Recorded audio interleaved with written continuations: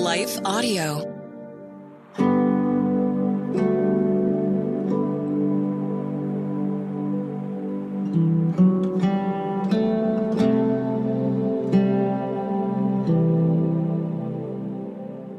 Hi, friends. Welcome to Breathe, the Stress Less podcast.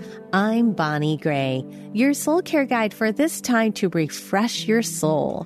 You'll receive God's loving promise, a scripture that will help you to feel encouraged, as well as a practical soul care tip. This is a simple action you can take to do something loving for your emotions and your body based on science and scripture so that you can lower stress and anxiety. I am so happy you're here. I am the author of Breathe 21 Days to Stress Less and Transform Chaos to Calm. It's become the number one new Amazon release on Kindle as well as audiobook. So pick up a copy for your summer road trip, whether you want to take it to the beach or just enjoy summer reading. You'll learn 21 different ways to lower stress in four different areas of wellness in emotional wellness, spiritual wellness, physical wellness, and social wellness. Well, today's question is about how can we renew our energy?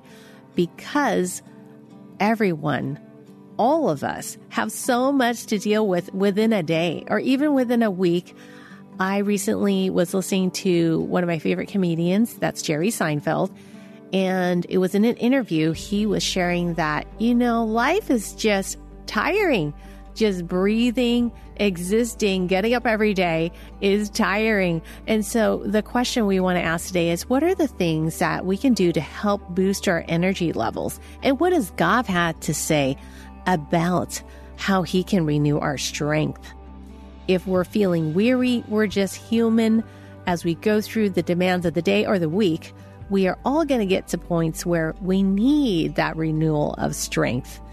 And I love the metaphor of our phones or our batteries needing to get recharged. We know that we need to plug our phones in to get that battery out of red or orange and we want it to be green. So, what are the things that you can do that can help renew your strength when you are feeling weary?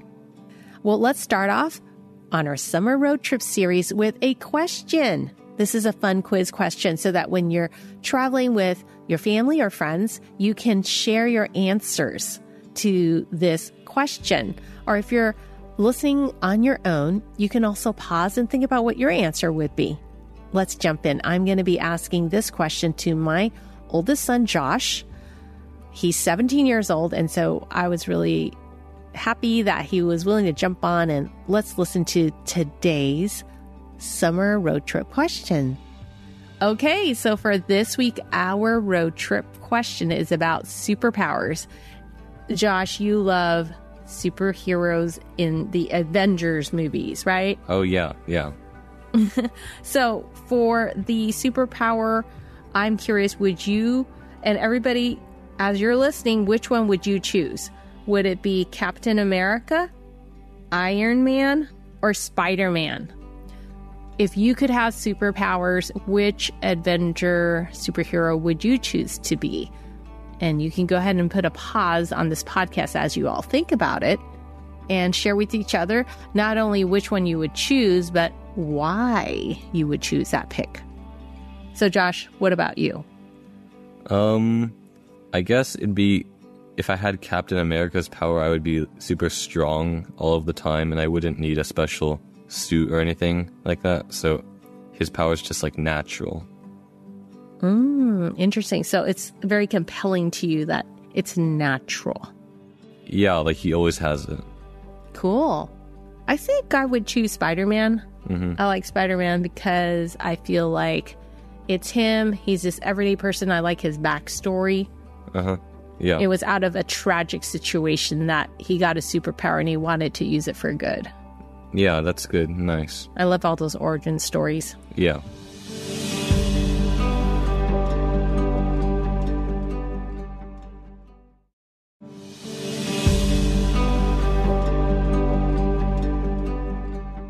Well, I love this question about what your chosen superpower would be. Because one of the things about watching these Avenger movies are these, well, first of all, I want to say I have two teenage boys, a 15 year old and a 17 year old. And so, yes, we've got action flicks queued up for pizza night, which is really our movie night once a week.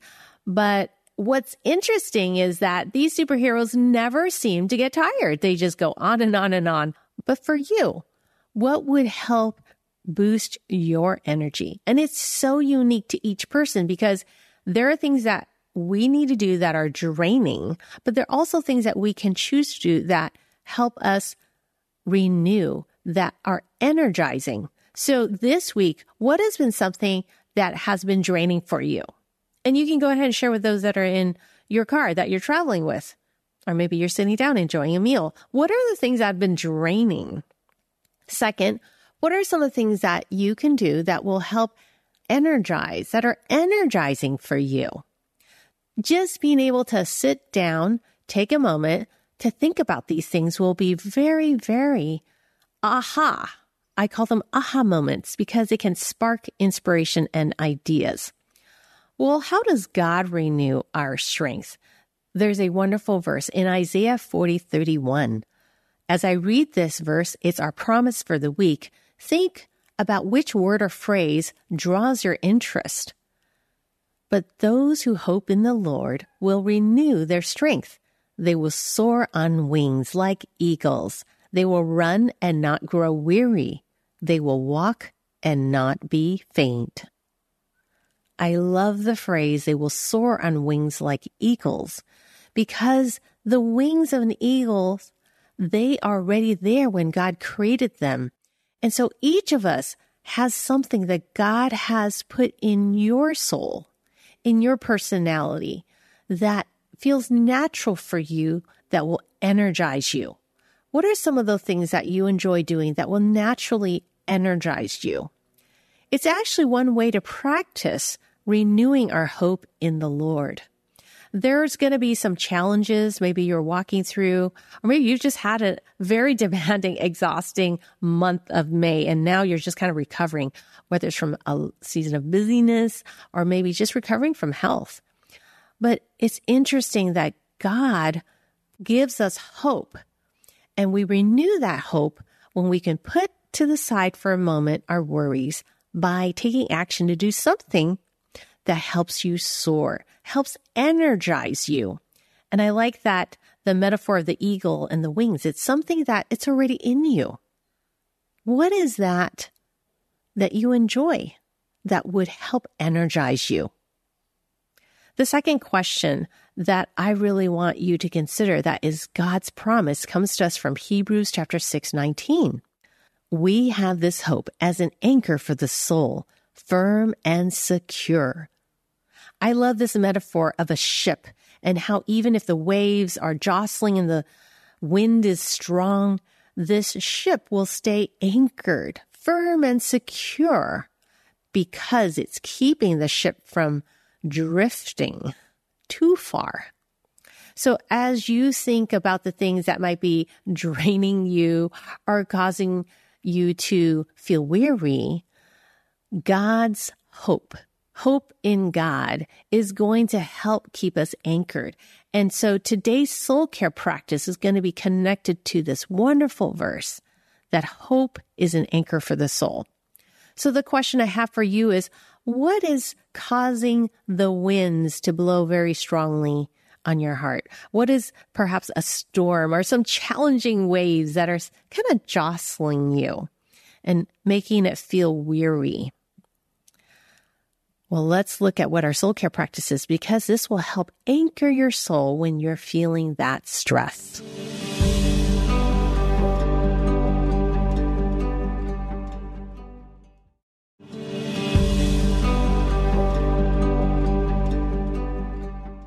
The Soul Care Challenge is to create a safe space to restore calm. When your thoughts spin out of control, think of a time and place where you're feeling confident, calm, and safe.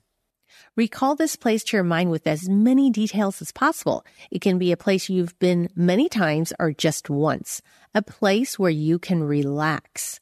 enter into this safe space with Jesus to perform any task or deal with overwhelming situations together with him during the day. Research shows that guided imagery is a proven way to lower stress and anxiety by visualizing a positive and peaceful setting, like the beach, the woods, or a green meadow. When you picture yourself in this peaceful setting, the experiences that you have had there instantly injects your nervous system with the happy, calming hormones you felt when you were there. That's how your memories work. They are connected to your body and emotions.